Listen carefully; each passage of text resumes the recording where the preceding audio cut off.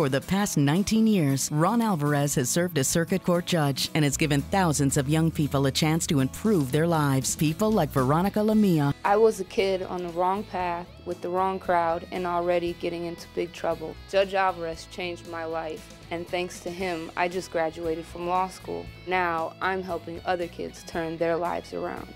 I'm Judge Ron Alvarez, and I never give up on our children. On August 14th, vote to keep Judge Ron Alvarez working for us.